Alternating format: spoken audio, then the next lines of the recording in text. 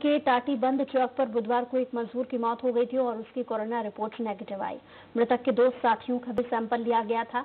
उनकी भी report negative आई है। मुंबई से पश्चिम बंगाल जा रहे 29 साल के एक मजदूर की तबीयत बिगड़ने से टाटी बंद चौक में मौत हो गई थी और उस मजदूर को बहुत तेज बुखार था, जिसके कारण कोरोना संक्रमण की आशंका जताई गई थी। हालाँकि लू लगने के कारण मौत हुई है, अब स्पष्ट हो गया है।